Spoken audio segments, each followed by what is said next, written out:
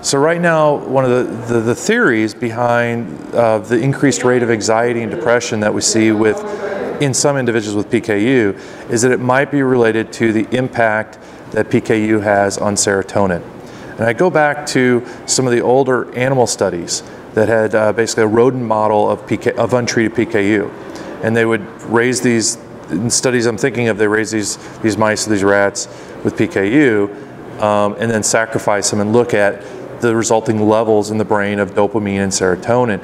And the study that I have in mind actually saw bigger decreases in serotonin than dopamine. So, in fact, the serotonin in that study, at least, was impacted more than the dopamine. Um, and when we think about things like anxiety and depression, really serotonin is the, neuro, the main neurotransmitter that we think of as sort of modulating that, consistent with this idea that um, in the general population, we treat anxiety and depression, one of the major treatments is SSRIs, right? Selective serotonin reuptake inhibitors.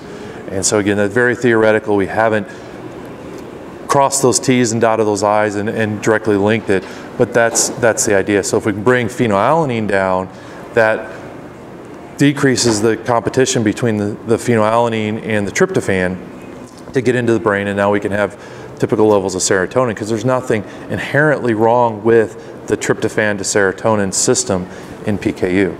It's just the phenylalanine is disrupting that system.